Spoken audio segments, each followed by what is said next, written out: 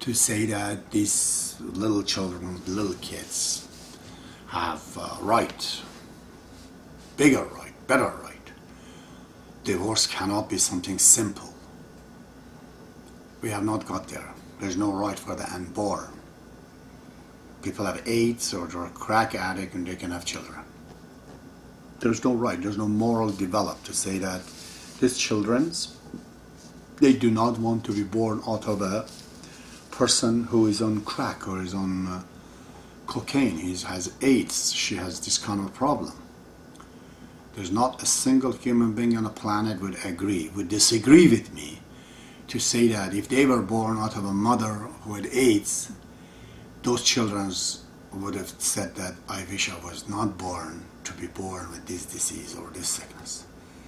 We have not grown out yet to say that there are moral values extended to the life of the unborn. If a person wants to be like that, she has to be sterilized. You can't have children till you change completely. It has to be proven to us because you cannot mother a child that tomorrow the child is going to ask us in the society, why did you let me to be born in this dirty womb of this woman that not only is not taking care of me, not even able to take care of herself. What is my fault? We have not gone there yet. yet. So, we have, you know, a, a paradox. To have religion or moral values of the past, we can't get along because none of these people can just come together. They don't accept Christians, Muslims, Hindus. They don't accept each other's moral values. No moral values, go to the Ayatollah TV or, you know, Hollywood.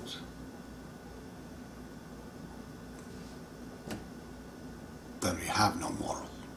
Then any moral is your moral. You write it down yourself. That is not being helpful at all also. So the solution that I have found as a person, as an individual, as a Canadian, as a person, a human being, I found that's Baha'i faith. Because it's a mechanism that is exactly like a transfer station. If you're a Christian, you come in here, you get transferred in such a way that you do not see Muslims are against you. They're actually with you or Buddhists or Hindus or others are against you. None, nobody is against you, the Christians. We're just different. And the same case with that. The Baha'i faith is able to transfer the individual, to give them a broader view of each other and of the reality. So Baha'i faith is the solution to this issue, in my opinion, because it has created a, a, a system of principles. On one hand, it says all the foundations of all the religion is one. And on the other hand, it says that religion has to be according to science and logic. Essentially, if you cannot logically and scientifically explain it, don't believe in it. Be doubtful about your belief system if it cannot be explained scientifically. That's clearly what Baha'u'llah says. Abdul Baha says if religion goes outside of the science, it becomes mere imaginations. See, that's a great, great way of saying it. On the other hand, it's not dogmatic. It has transferred the spiritual power into democracy by electing the priest in a city called local spiritual assembly, local house of uh, elders, and in the national, again, national house of elders or national uh, House of Justice, National House of Guardianship that comes in future.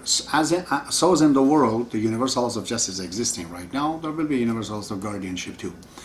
It's called elections. People are electing two opposite forces that interact with each other and they go on to make religions. Whatever has not been revealed, the morals, anything that we need. It just goes on. It's not a dogmatic, here it is, that's it. Baha'u'llah has brought a foundations for it, you know. And the rest of it's up to us. So when you look at it, nations are together because of their common values, common traditions, these customs that they have. All the Muslims they say each other salam, you know, or salam alaik, or Jews they say shalom. I, ironically, both means the same. and um, Christians, you know, their ways. So Baha'u'llah says that since these words of greeting is attached to so many debris in the past. I'm just going to use a new one.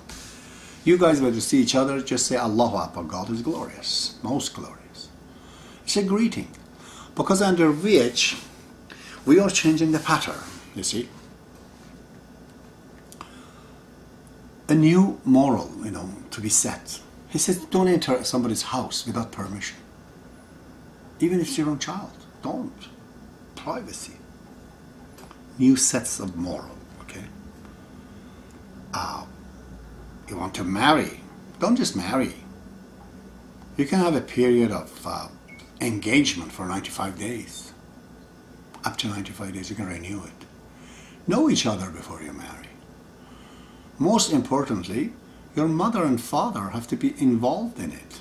If they didn't disown you, if they're not dead, because they gave rise to you. They, their opinion has to be, their input has to be in there. If you want this family to be uh, integrated in hard and together, get the input from mom and dad. They have to agree with it. Legally, they have to agree with it. Or even in divorce. Baha'u'llah says, okay, you don't get along, that's fine. If you're not happy, that's fine. But you have to take a year of patience. Which is ironic, is in Canada. Canada, they don't need Baha'i faith to do this. It's just Canada, you have to wait one year before your divorce is issued. this was done by Baha'u'llah way before Canada was even formed. So, Baha'is, they call year of patience. And Baha'u'llah says live in the same city. You might get together again. It might be the distance uh, has to be, you know, apart, so you might think about each other and appreciate each other more. If not after a year, you can get divorced. You know, custodies are joint, for example. Kids can stay with the mother, but it is joint things.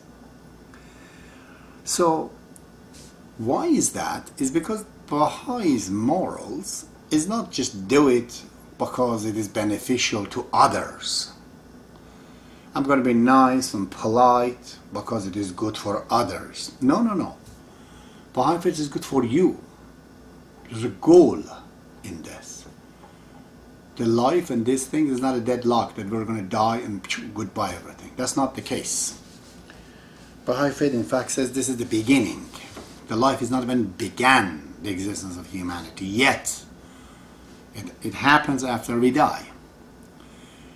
You know, makes very sense. In the womb of the mother, you develop all this uh, faculties, eyes and ears and the body to be able to communicate here. And in here, you use those communications in order to grow up spiritually. And once these two processes done, you begin to exist after you die. I explained this before. Mankind is like a computer and there's a CD, which is the soul is in it. We have to write a good file who we are, as we do in this CD. When we die, the CD gets separated from the computer, computer goes away, but the CD remains. If it is a great CD with a lot of formulas and a lot of great things, it will be staying out forever. It reaches to consistency on its own, it develops. It's made it that when it comes out, it will turn into something else and it will go on. And if it is not, unfortunately, uh, you know, it perishes.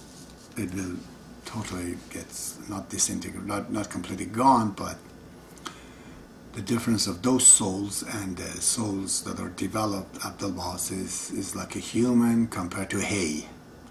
What's a hay? You know, nothing compared to a human being. That much of a difference between those existence.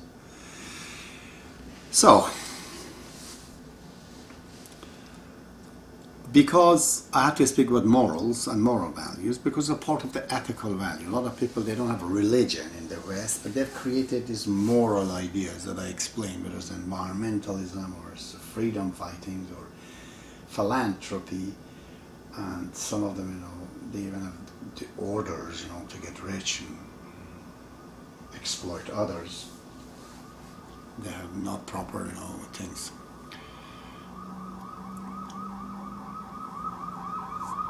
So, uh, uh, well, I think uh, that's enough about this uh, subject right now. And I shall speak about uh, later on about the manner and respect and politeness next time. Thank you so long.